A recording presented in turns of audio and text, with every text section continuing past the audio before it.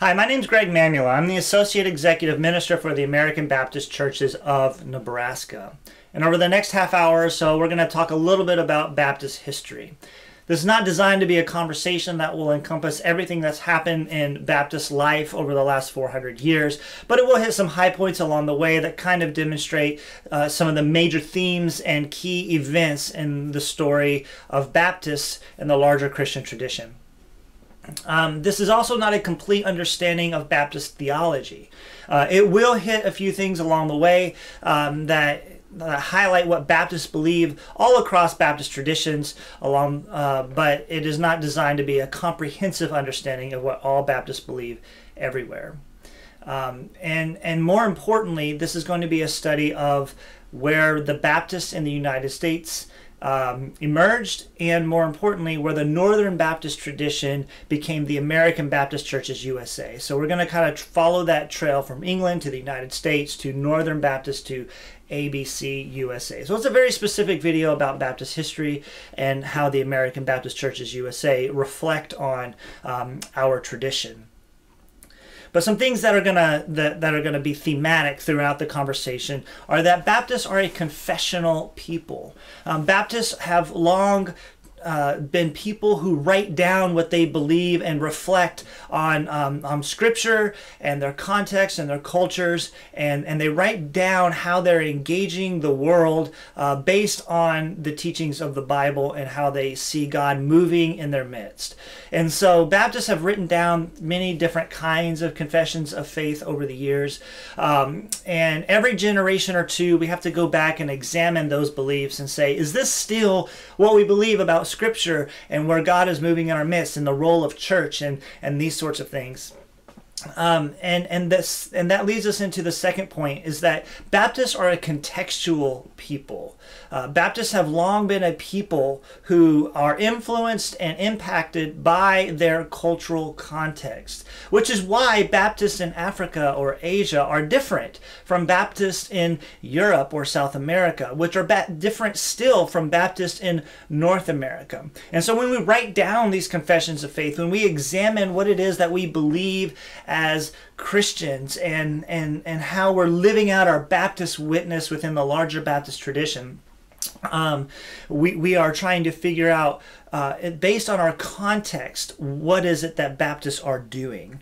Um, and then the next thing is that Baptists are a community people. Baptists firmly believe in the autonomy of the believer, uh, the autonomy of local churches, um, but we also believe that Baptists are better when we come together in a faith community called a church, and that those churches are better when we come together to form associations and regions in order to extend our ability to do mission and ministry, and that these regions that have partnered together to form different societies and, and and larger uh, national bodies are better when we partner together to form um, our best mission and ministry that can impact the entire world.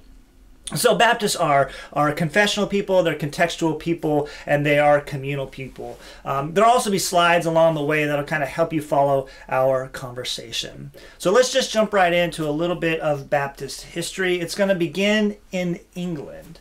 Um, the first known Baptist groups began in 1608 or so with a band of Puritan separatists who were exiled to Amsterdam. This group was led by John Smyth and Thomas Helwys. Now, these dissenters, they broke away from the Church of England because of a belief that the church had become somehow corrupt and, and a little bit too institutional. Um, they believed that the best way to reform the church was to leave it. John Smyth had spent a few years uh, trying to work within the network of the Church of England as he studied scripture and thought about uh, how the uh, Christian tradition was being applied in the English context of the early 1600s, uh, he began to say that things needed to shift and things needed to change. Um, but he was realizing that he was not going to be able to make the kind of change that he sought, and that he was a little bit different kind of a Christian believer. And so he he he found a group of people that separated from the Church of England and they banded together around some common beliefs about baptism and the reading of Scripture and the way that uh, churches should be autonomous and independent. Uh, this group left England and ended up finding their way to Amsterdam, where they met in a bakery for about two or three years. Uh, John Smyth eventually left the um, Baptist church that was there, became a Mennonite. He had some confusion over whether his baptism was authentic or not. He was really kind of a deep seeker type personality. Um, but the group was left, what was left of the group was led by a lawyer named Thomas Helwys and he guided this group um, into uh, what it was to be a Baptist church. After being in Amsterdam for a couple of years, they decided that they would have a more uh, impact and and and a more clarif- clarifying role in their place in the Christian story and what it was to be a Christian church if they went back to England. And so in 1611, Helwys and 10 congregants from uh, that church in Amsterdam came back to England. They planted a church just outside of London in a town called Spitalfield. And they um, began to emphasize things like church autonomy, priesthood of the believer, baptism by professed believers, and religious freedom. Um, and these were things that gained uh, popularity not only as a result of the Enlightenment but as a result of thought in the Christian world as well. Now, these earliest Baptists, Thomas Helwys uh, and others, they, they, they were beginning to write down these confessions of faith. And remember, these confessions are shaped by their context. They're in um, the 17th century England. They're separatists from the Anglican community, and so they um, Thomas Helwys penned a couple of key documents, and and the first one was called a Declaration of Faith of the English People remaining in Amsterdam and Holland, which he wrote before coming back to England, and then immediately after coming to Spitalfield, he wrote a short declaration of the mystery of iniquity. And these are the documents where he spelled out the early Christian beliefs. This is the first really written Baptist confession. And so he emphasized that baptism was for individuals who professed belief in Christ. This was a big break from earlier traditions where people were baptized as infants uh, to be part of the church. Sometimes that um, that baptism was attached to citizenship. So if you were baptized into the Church of England, it also became a citizen of the country.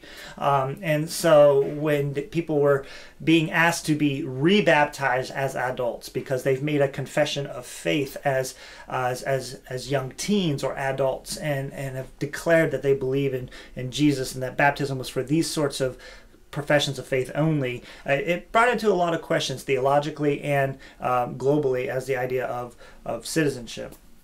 Uh, immersion became the official form of baptism in 1641. Um, it was practiced by uh, tradition um, through immersion before that. However, it was first written down in a document in 1641. Um, communion spiritually connected Christ to those who partake it. So communion became an ordinance alongside of baptism. Um, and and so this is a little bit different than maybe a uh, other traditions um, where it's a sacrament. It's it's it's believed that taking communion, doing baptism, a few other rites along the way are part of the salvation process.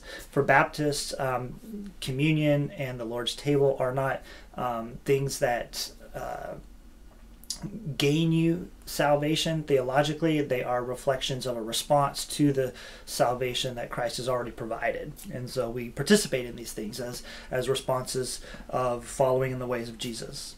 Uh, thomas helwys also championed the small church. Um, he said this in, in one of his documents quote to know each other so that they may perform all the duties toward one another Therefore, a church ought not to consist of such a multitude as cannot have particular knowledge of one another.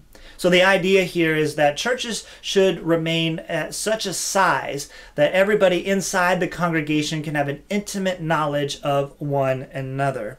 And so this is one of the things that American Baptists kind of still pride ourselves on is that um, it's nothing really against large churches. If you have big ministries, that's great but the idea is is is is intimate smaller congregations. Uh, it's better in, in american baptist thought to have many small churches than it is to have one large church because this way everybody can intimately connect to one another.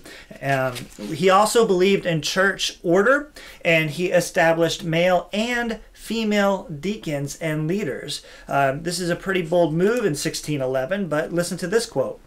Quote the officers of every church or congregation are either elders who, by their office, especially feed the folk concerning their souls, or deacons, men and women, who by their office relieve the necessities of the poor and the impotent brethren concerning their bodies. The idea here is that men and women leaders are part of the church. Uh, they all have a role to play in meeting the needs of the gathered body and the surrounding community. Uh, he also believed in complete freedom of conscience in matters of religion. This is a key Baptist foundational understanding of how and why we have independent, autonomous congregations um, and, and priesthood of the believer. Listen to this quote For men's religion to God is between God and themselves. The king shall not answer for it. Remember context. They have a king. And so they're saying the king cannot be the ultimate judge of your religious belief. Continuing on, he says, Neither may the king judge between God and man. And then he takes it a step further when he says, Let them be heretics, Turks, Jews, or whatsoever. It appertains not to the earthly power to punish them in the least measure. The idea here is that uh, an individual's belief is between them and God alone. No king, no magistrate, no government should be allowed to dictate what it is that a person believes about Scripture and church and God and all the other religious beliefs that go with it. But he takes it a step further in that um, whether they have no beliefs, bad beliefs, uh, he uses the term Turks, which is uh, modern day understanding of, of Muslims, um, Jews, or whatsoever, that this government should not punish people for being of a different religion or having different theological beliefs. It's not the place of government. And so um, this is a big part of Baptist belief. This separation of church and state is probably the most common phrase used today, um, but it's rooted here in this 1611 document written by Thomas Helwys. He also believed that church members are united under a covenant, and this covenant gave focus to faith, fellowship, and discipline. So people come together. Covenants are different than contracts in the sense that covenants are that you will hold up your end of the bargain even when the uh, rest of the party does not. You see all over throughout scriptures where God makes covenants with his people. He will be their God if they will obey his ways. And then God is always faithful to the covenant even when the people are not. Um, this they were uh, these earliest Baptists. They believed that Christ's atoning sacrifice was for for all people, um, not just a chosen few. So these earliest Baptists, they were more what they called general Baptists. They lean into a more Arminian theology, and then um, rather than particular Baptists, which came later, uh, but kind of have been the dual streams of, of Baptist thought. Is you had your general Baptists. Um, and then your particular Baptist, which is today more of what we would call a Calvinist tradition or reformed. Um, they these early Baptists and even today still Baptists are intense students of Scripture. We love the Bible. We love talking about Scriptures. We like talking about the narrative of the Bible.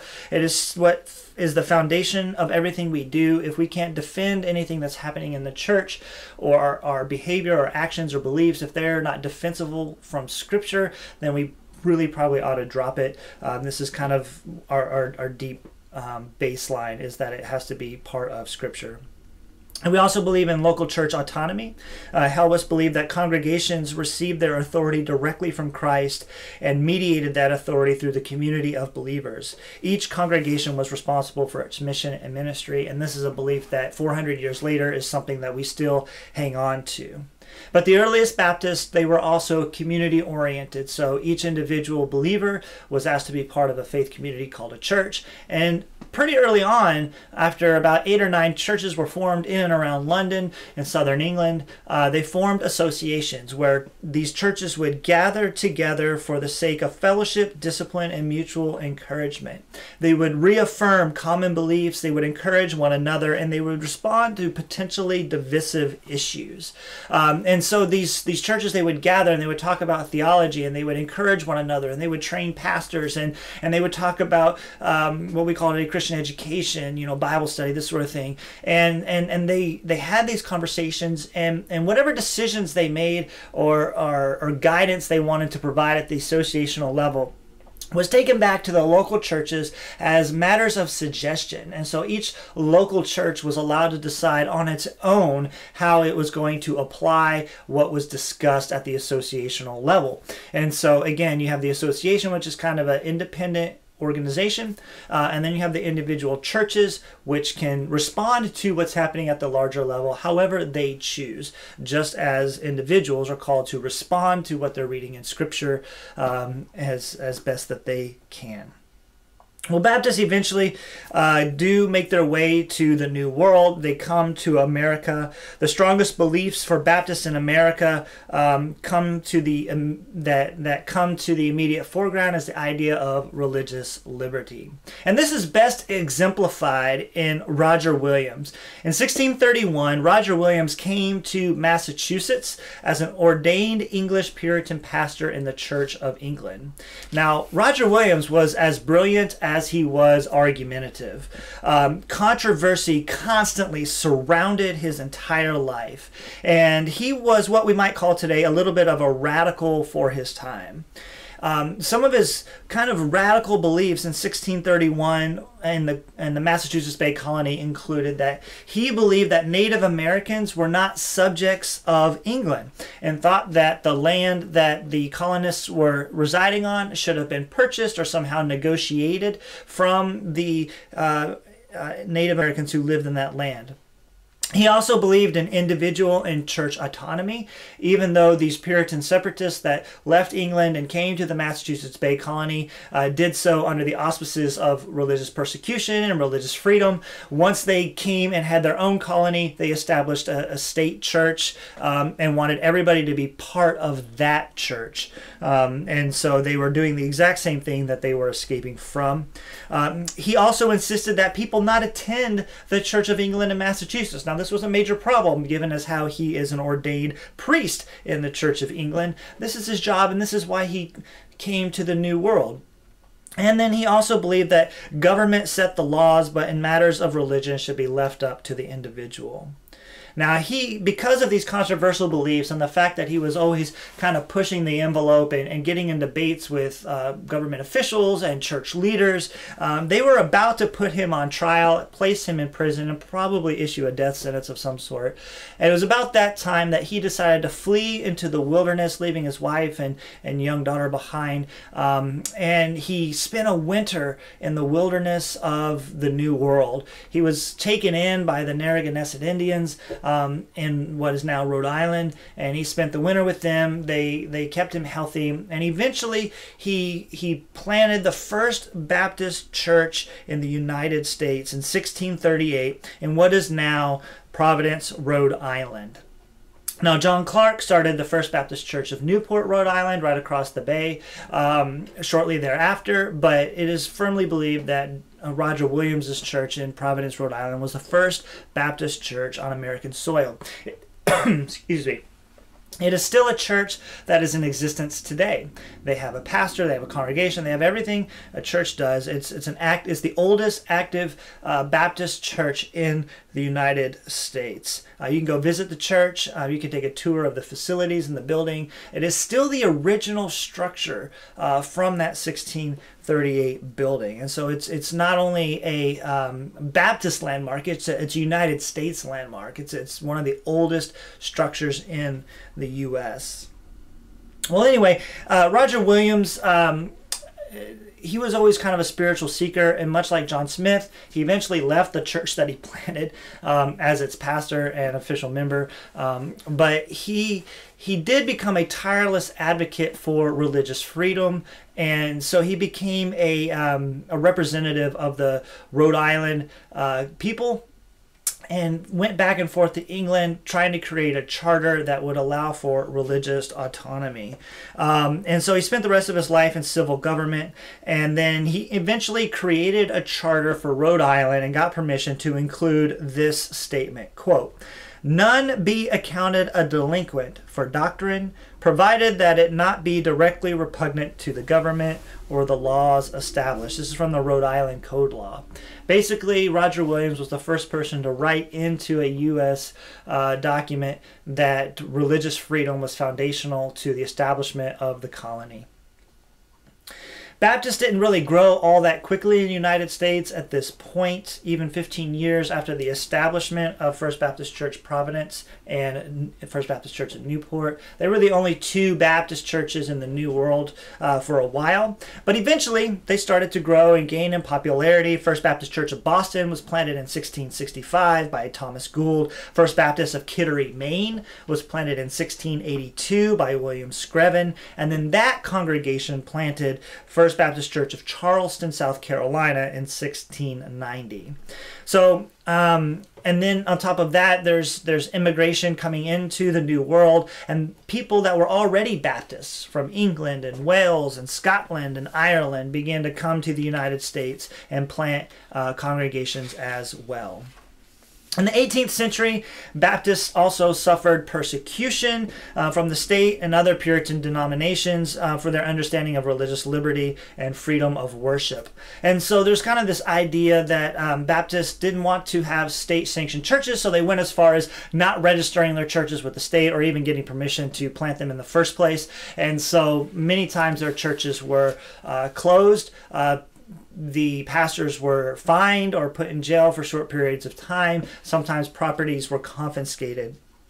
But um, the largest growth of Baptists happened in and around Rhode Island, New Jersey, and Pennsylvania because they had similar charters. Uh, the New Jersey and Pennsylvania ones were modeled after Roger Williams' charter in Rhode Island, which created religious freedom um, and separation of church and early ch- separation of church and state ideas in the New World. And so, as churches started to crop up, they began to do just like the churches in England. They began to create associations where, where groups of churches would gather together in order for encouragement, understanding of theology. They would train pastors and the like. So on July 27th, 1707, five churches um, gathered together to fix an annual meeting of an association to, quote, mediate and execute designs for public good. This became known as the Philadelphia Baptist Association. The Philadelphia Baptist Association is the oldest Baptist association in the United States. It is still in existence today. It is actually a region within the American Baptist Churches USA. And this association was formed to train and examine pastors, oversee ordination, provide discipline, and share theological strength with one another, and at times to plant congregations.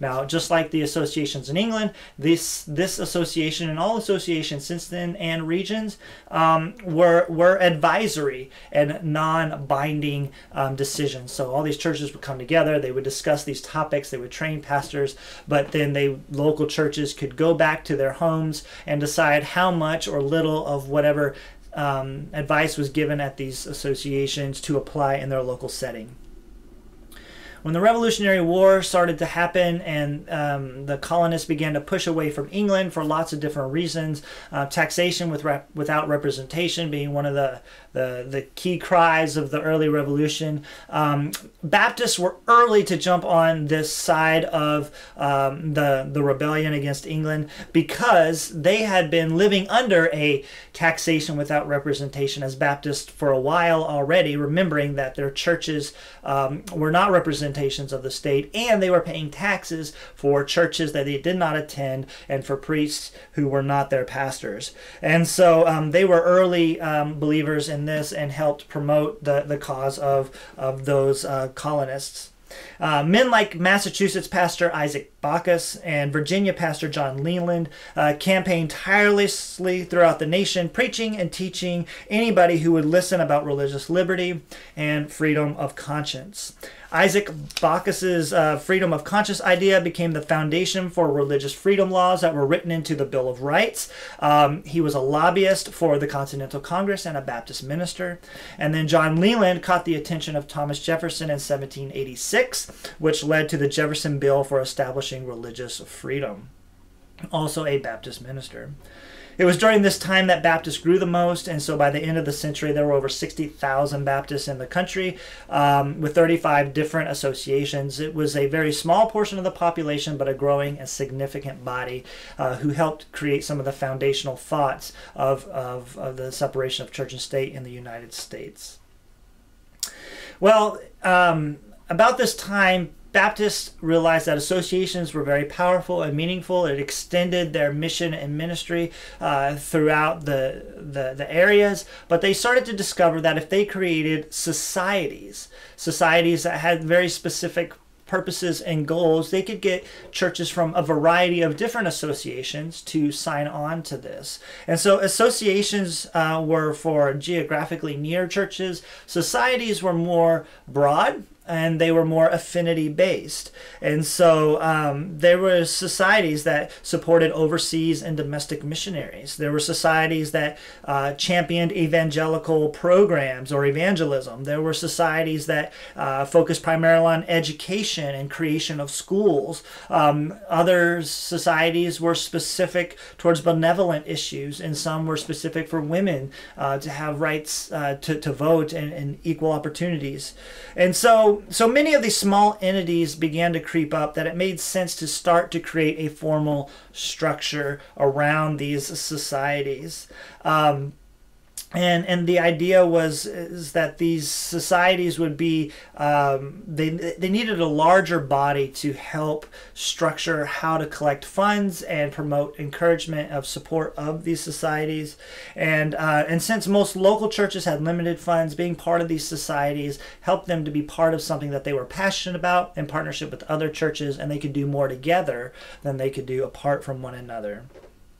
Um, probably the the most famous and earliest society in the United States. Um, we have to kind of go back to our passion for missionary zeal. Um, and the very first Baptist missionary that's often overlooked is a man named George Liele. George Liele was a freed slave from Georgia. Um, he eventually made his way down to Jamaica.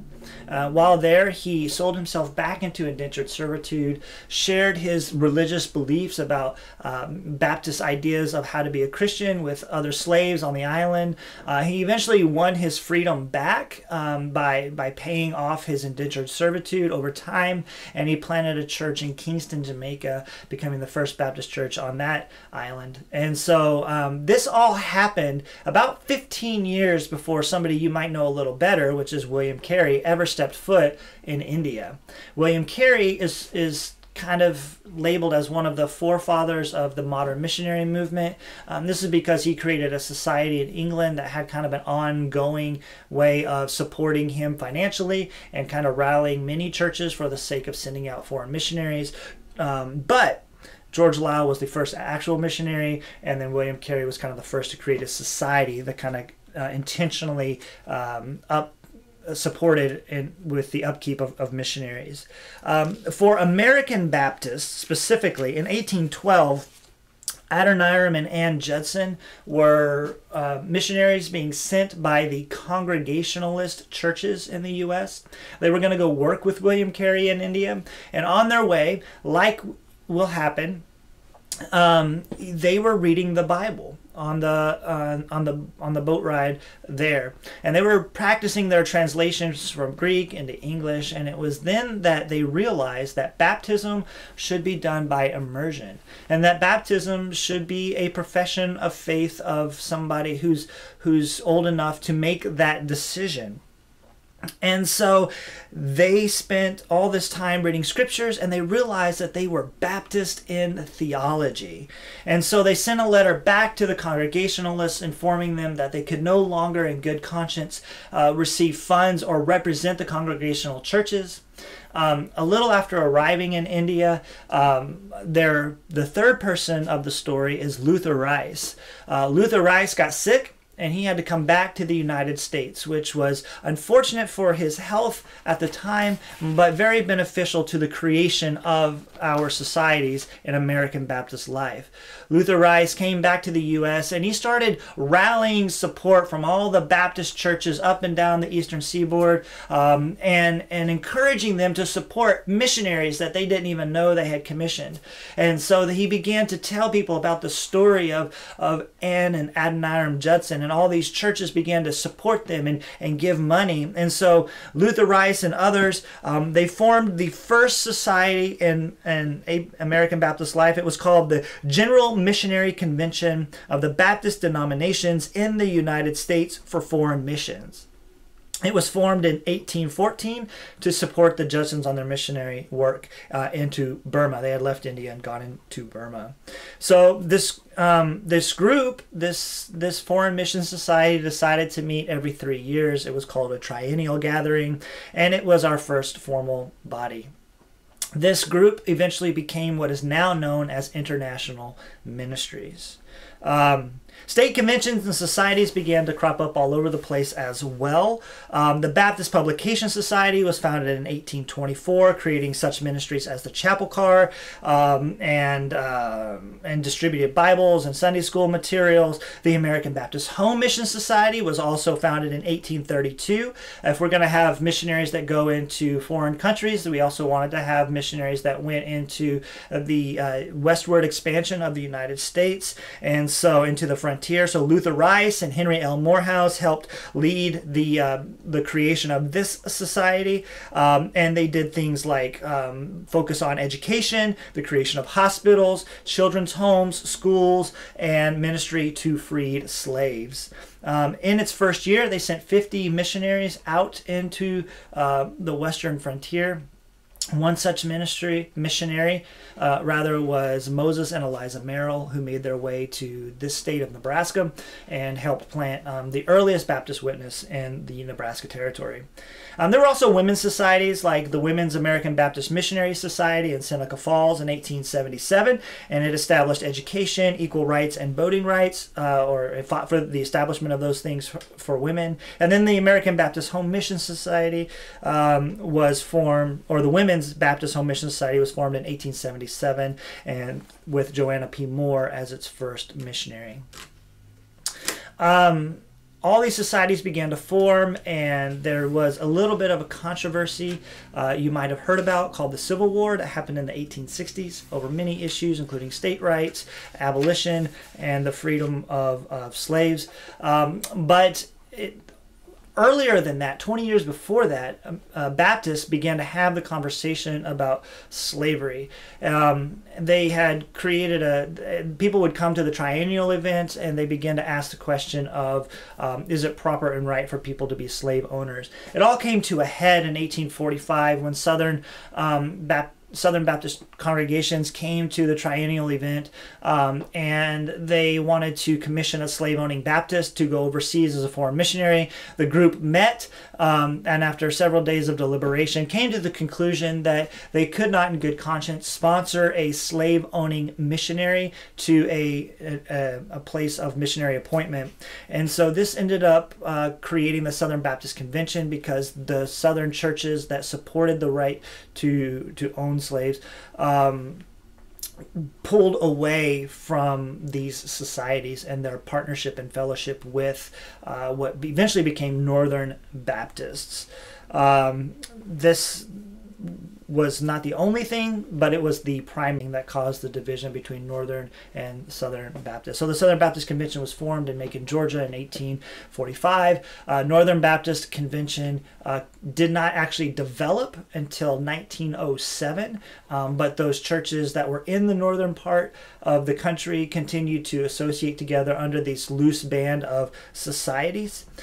Eventually, in 1907, um, at Calvary Baptist Church in Washington, D.C., the Northern Baptist Convention was established, and it brought together the three big societies of the time. It was the American Baptist Board of Education and Publication, the American Baptist Foreign Mission Society, and the American Baptist Home Mission Society. The idea was for all these things to color come under one networked umbrella, um, but per the tradition of our Baptist heritage, each of these societies are independent and autonomous. They remain so today. They each have their own boards, they have their own uh, executive directors, um, they have their own ways of raising funds and resources.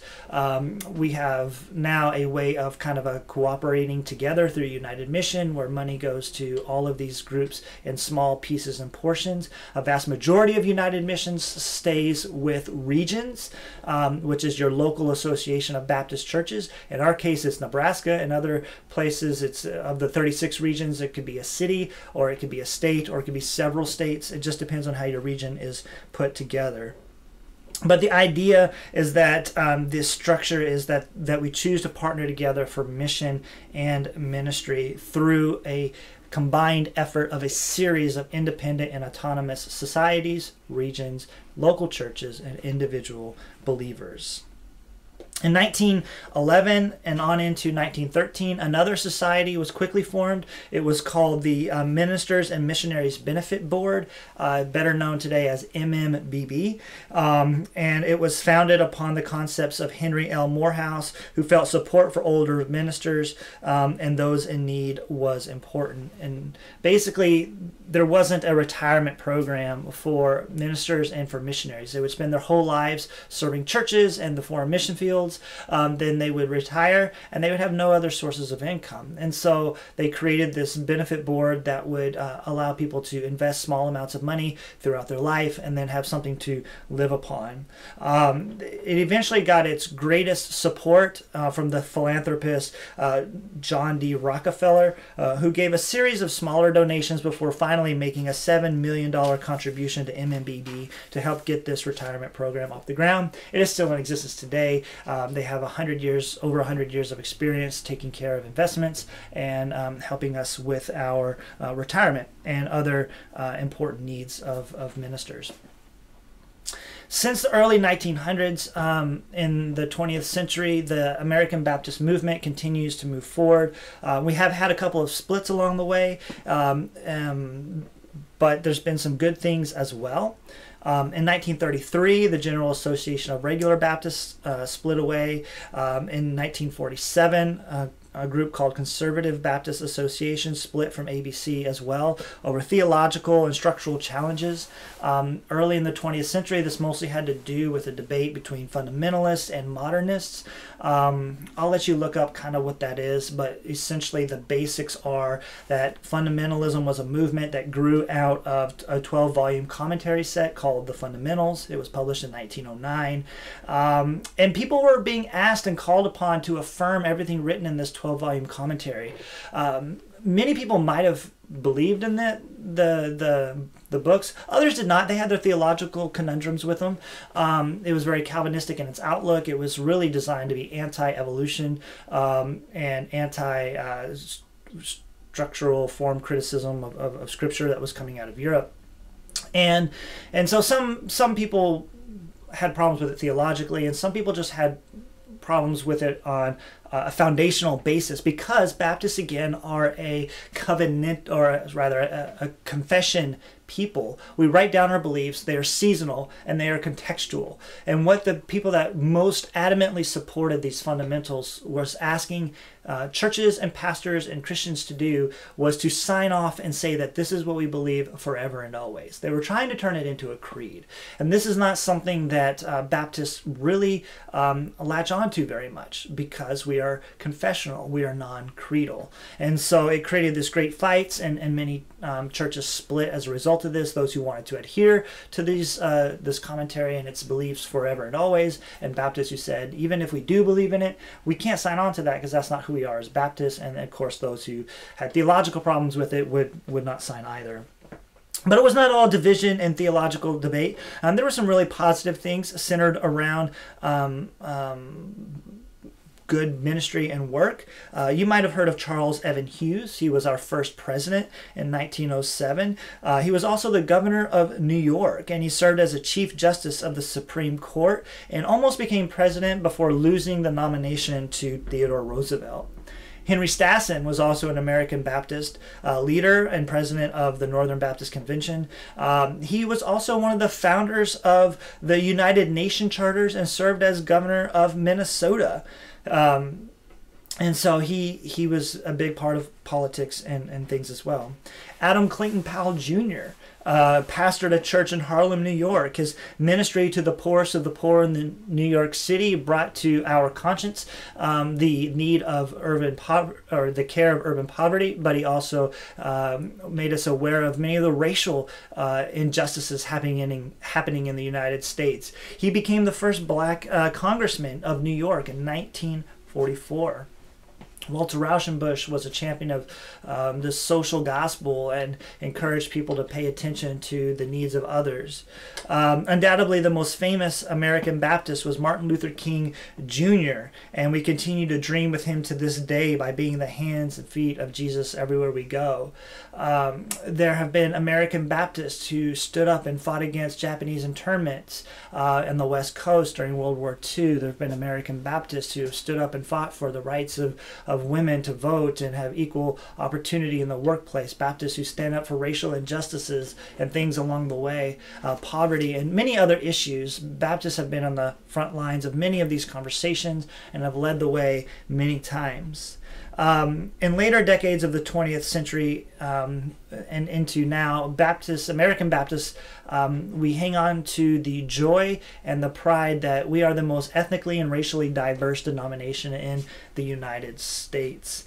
Um, we don't have a single um, ethnic group that makes up a majority of our Baptist life.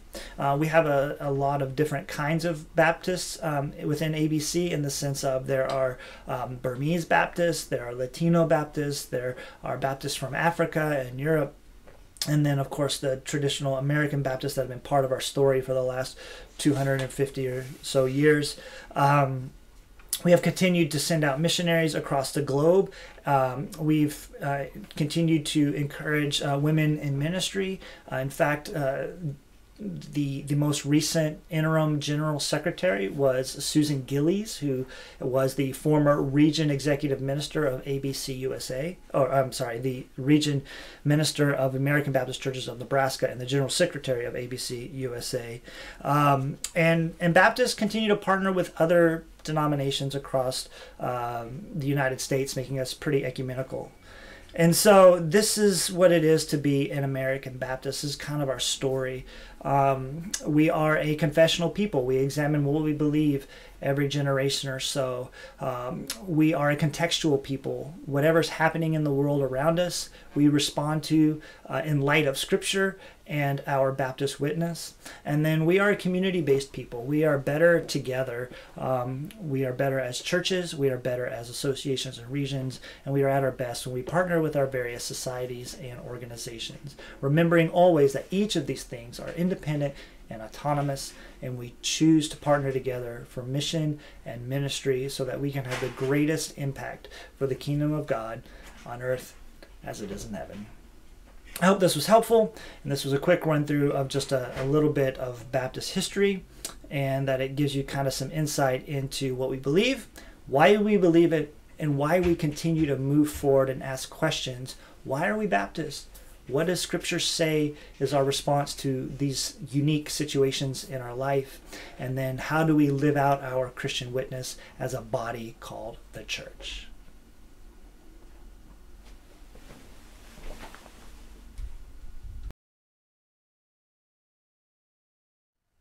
Hey guys, just a quick little bit of bonus footage here. Um, I love books and they're very helpful to me. And we just went through 400 years of Baptist history in just about a half hour. And so, um, if you want to know more about what it is to be a Baptist uh, or understand uh, some, some, some Baptist theology and thoughts along the way, I want to give you some suggested readings uh, to help you along your journey. Um, probably the easiest and best book to, to go to real, real quick is a book called Down by the Riverside.